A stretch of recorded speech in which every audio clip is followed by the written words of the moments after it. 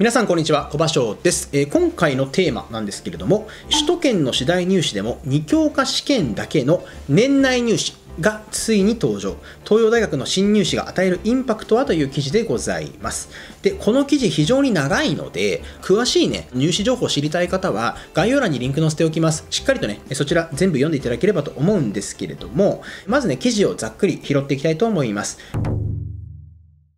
東洋大学が2025年度から新しい入試を導入すると発表したと。名称は学校推薦入試基礎学力テスト型ですと。で12月1日が試験日の年内入試だということです。で既卒生も受験が可能になっています。で今回このね試験というのは英語国語または英語数学で受けられる2教科入試となっています。で、英語に関しては外部試験のスコアが利用可能で、一般選抜と同じ外部試験を同じ基準で利用するということなんですね。で、画像があるので、この辺に出してもらおうと思うんですけれども、みなし得点というものが決まってまして、まあ、IELTS とか TEEP 使う方は少ないと思うんですが、英検でいうとこの2304点、11級レベルを持っていれば、もう満点換算してもらえるよと。で、2級レベルでも80点換算してもらえるよというのが出ております。で、え2教科を受験した上で英語では当日得点と外部試験のスコアをもとにしたみなし得点を比較して高い方を採用。なので例えば英検に自信がない子でも1を出しておくは出しておいて本番の試験を頑張ることもできるし、まあ、11級持ってれば正直当日の試験はあまり意味ないですね。100点もらえますからね、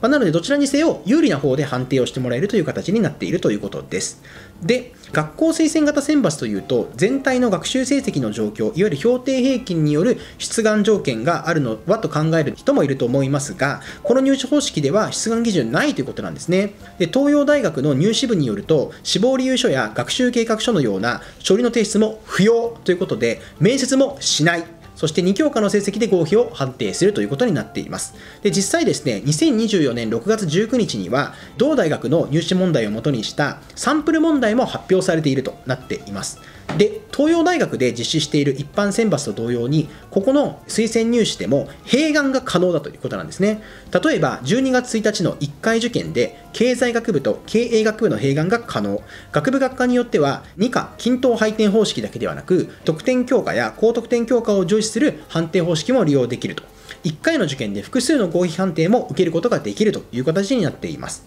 さらに他の学部や他方式の併願もしやすくなるように受験料は1出願でも2出願でも同額に設定されていると、まあ、とにかくだから1回出すならもう出し放題みたいな話ですよね。でこの学校推薦入試基礎学力テスト型は他の大学や東洋大学の一般選抜とも併願可能だってことなんですね。で募集人員は578名ということなんですが1出願でも2出願でも受験料が同額に設定されていることから募集人員の5倍程度の3000人ぐらいを受からせるんじゃないかというふうに言われているということになっています。で今回このライターの方の試験によるんですけれども今回の学校推薦入試基礎学力テスト型の導入は多方面に影響をもたらすんじゃないかということなんですね。で例えばどんな影響があるのかということなんですがまず1つ目東洋大学が第一志望の受験生が受験する、まあ、当然ですね、まあ、とにかく受けるチャンスを増やしたいということで、まあ、受けに行くということですね。で2つ目 G マーチ第一志望者が併願先として受験する。つまり年内に合格を確保しておいてそれ以上の大学、まあ、別にね G マーチだけじゃなくて別に早慶だっていいんですけど、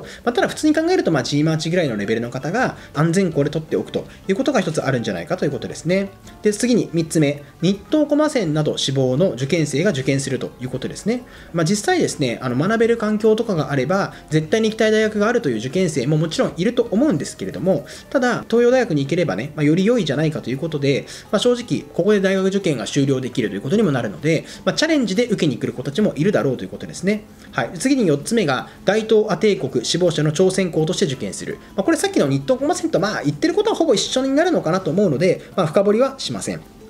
で国立大学の志望者や英語数学が得意な受験生には期待だということでいわゆる日東駒線の一般選抜は3教科入試が主流ではあるが東洋大学では多数科型の入試4科目とか5科目ですね。こういったところの募集人員を増やしているということになっていて2024年度は一般選抜前期の募集人員構成比が15.4%だったのに対して2025年は17.3%まで拡大するということです。さらに反対にはですねこれまで一般選抜の中期後期で実施してきた2教科入試は2025年度から全廃するということなんですね。つまり今2教科型入試を受けたい子はもう年内に取っといてねっていうみんなそっちで受けといてねっていう東洋大学からのメッセージであるという形になっているということですね。で東洋大学は文系学部の一般選抜でも数学が必須の入試を実施しているということで、まあ、ここはね以前もねニュース取り上げたこともあります。その募集人員は2011年度の15人から2025年度はなんと838人と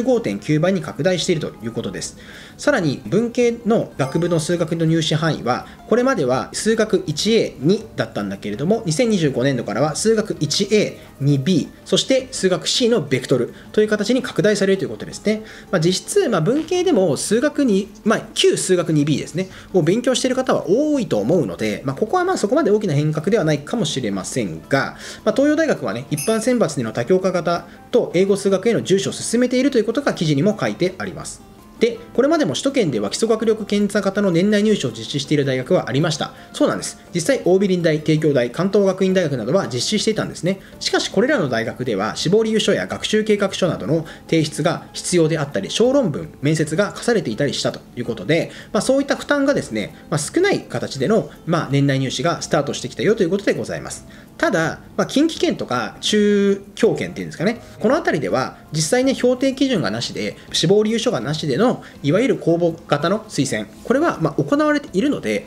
まあ、日本国内でも画期的ななんか、まあ、取り組みなのかって言われると、まあ、そうこまででもないかなっていうことが書いてありますが、ま、ただ、やっぱりね、関東のこれだけね、ま、大きな大学がここに踏み切るというのは、まあ、一つね、ま、ニュースになるんじゃないかなというふうには思っているというところでございます。はいまあ、ざっとね、えー、まあ正直、一通りの記事を読むのはもうちょっとね、長く続くんですが、引用はここまでにしておこうかなというふうに思います。で、まあ、これ実際どうなのかということで、以前もね、動画でもお話ししたんですが、えー、まあ、受けに行くのは全然ありかなというふうに思います。まあ、東洋大学行ってもいいよと、えー、受けたいよという方に関しては、え年内から積極的にチャレンジをしていくのはありかなというふうに思います。まあ、ただ、これ見ていただいて分かる通りですね、あんまりリスクもないですし、まあ、例えば手間も少ない、ね、その死亡理由書とかいらないので、手間も少ない。で、学力だけで受けられる。まあ、ある種ね、いい入試の練習にもなるかもしれない。なんなら共通テスト、ね、いきなり受けに行く、緊張しますよね。それのこう、まあ、前段階のテストとしての、うまくね、1ヶ月ちょっと前ですから、機能するかもしれない。っていうこともあって、まあ、個人的には人気が出るんじゃないかなと想像はしております。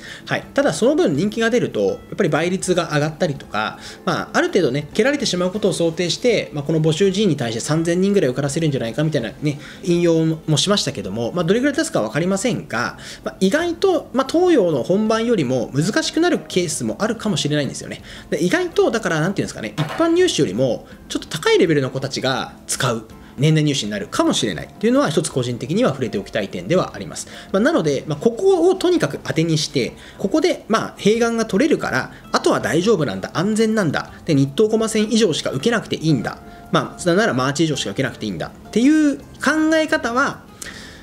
少し危険かなというふうには思いますね。はいまあ、なので、まあ、ここで取れたら、まあ、後々、まあ、出さなくて済むとか、受けに行かなくて済むぐらいの感覚で取り組むのがいいんじゃないかなと思います。まあ、ただ、英検ね、特に準1級持ってれば満点扱いみたいな外部のね、英語試験も利用できるので、まあ、その辺のね、英検が得意な方とか、まあ、国語、数学、しかも2教科型なんで、特にね、まあ、英検はもう持ってる上で、国語もしくは数学がすごい得意だよって方に関しては、まあ、ぜひね、活用してもいい入試形式なんじゃないかなというふうに思います。はい。まあ、もちろんね、新しい入試なんで、まあ、問題がわからないじゃないかとかリスクが大きいって言われるかもしれないんですけど個人的には、まあ、東洋大学がそんなにトップな問題出してくるとは思えないですし、まあ、正直絞り書とかそういうもの書類関係がないので時間的リスクっていうのも受験しに行くだけ、うん、で年明けに併願校を1個受けたって思えば正直年内に1個受けておく方が時間的なね、まあ、要は直前期本当の直前期の1日分の余裕ができるのでそういう観点でも、まあ、僕はね活用するならするで全然積極果敢にチャレンジしていいんじゃないかなというふうに思っております。逆に言えば、ここでね、年内取れてしまえば、まあ、例えば日東コマース編を手厚く、たくさんね、抑えとして受ける予定の人が、まあ、そこが少なくなったり、なんなら受けなくてよくなったりするので、その分ね、全力で他のよりね、志望度の高い学校にチャレンジできるという考え方もできるのかなというふうに思います。はい。というわけでね、今日はそのところを扱わせていただきましたけれども、いかがだったでしょうか。まあ、ちょこちょこね、こういう入試情報も扱っていくんですが、やっぱりね、全大学扱おうとすると、まあ、めちゃくちゃ大変なので、まあね、なるべくこういうニュースになったところを扱っていきますけれども、正直ね、情報をいろいろ見てみると、こういう入試、さっきも言ったように、まあ、愛知とかあっちの方にも、あとはまあ、関西圏にも、あるんですよ、入試すでにね。なので、こういうとこだけに振り回されず、もしかしたらご自身が行きたい大学とか、考えている大学でこういう年代入試があるケースもあるので、ぜひね、よく調べて受験に取り組んでみてください。では、最後までご視聴いただきまして、ありがとうございました。